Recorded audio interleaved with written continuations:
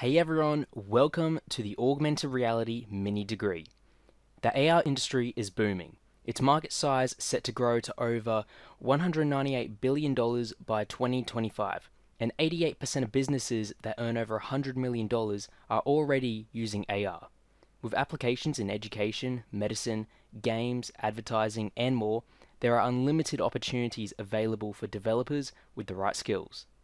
Throughout these courses, you'll gain the skills and knowledge needed to create a range of professional grade AR apps, beginning with the fundamentals of the Unity game engine, including coding, gameplay mechanics, and UI elements. We'll then learn to work with three different AR systems ARKit for iOS, AR Core for Android, and Unity's API, which connects the two, called AR Foundation.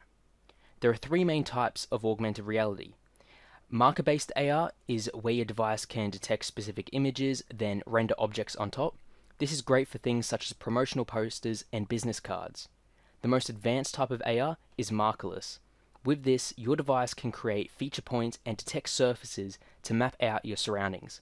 Some applications for markerless AR include furniture placement apps and physics based games with your environment. Finally, we have location based AR, which utilizes your GPS location we won't be going over this one in the curriculum, but it's still good to know of.